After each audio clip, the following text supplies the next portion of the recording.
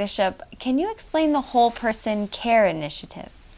Well, I'm very excited by the Whole Person Care Initiative that, uh, uh, that we've begun here in California. Uh, it's, in a certain sense, it's an affirmative step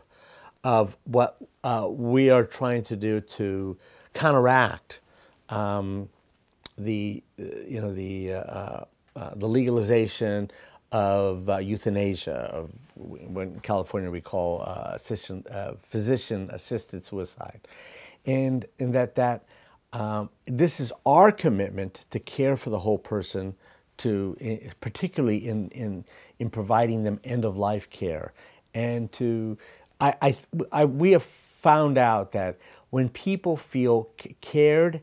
for, cared for and accompanied, that they, uh, that they won't make those choices and that that is, um, uh,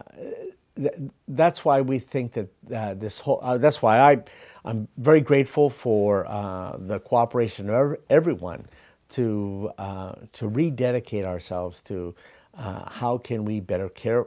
care for and accompany um, those who are on the margins of our society, Uh, and, and, in this particular case, uh, the, the, frail elderly, and to, to help them know that they are not only sons and daughters of a merciful God, but they are also, you know, respected and loved, cherished brothers and sisters of, of all of us.